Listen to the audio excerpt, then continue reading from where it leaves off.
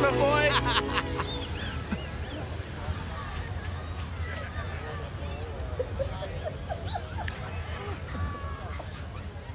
Two pairs for one low price, including multifocals.